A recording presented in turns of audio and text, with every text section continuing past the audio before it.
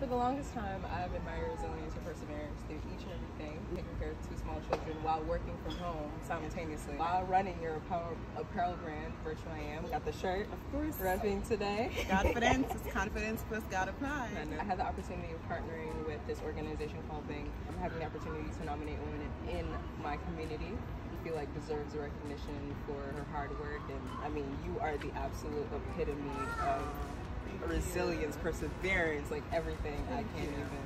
I have a little gift.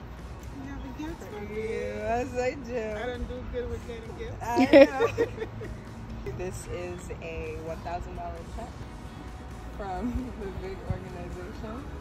No to, way. It is. Are you serious? It is to continue everything that you're doing whether it is through Virtual I Am or just anything that you need. God told me to bless my pastor with a $100 today.